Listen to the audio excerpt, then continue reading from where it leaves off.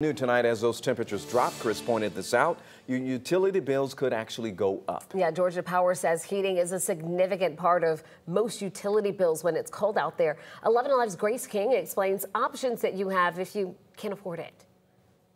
The first thing you should do is reach out to your utility provider. Most of them, like Georgia Power, have programs designed to help and we are willing to work with our customers. That's why we've been out in the community, putting the word out about all of the resources that are available. With Georgia Power, there are options. We've been working with faith-based organizations, government organizations to partner with like our initiative Project Share, which we match donations from customers to help families in need. Federal data suggests electric costs will rise again this winter.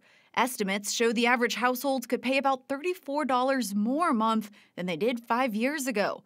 That's why organizations like Midtown Assistance Center are prepared to help.